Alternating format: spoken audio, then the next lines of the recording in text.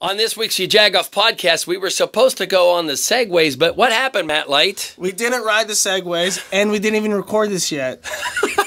it's spring. You might have to clean. You might have to get rid of your parents' house. You might have to get rid of your house. You might be getting evicted. Who knows? And Sue Baumgart's here. I'm a premier estate liquidator in Western Pennsylvania.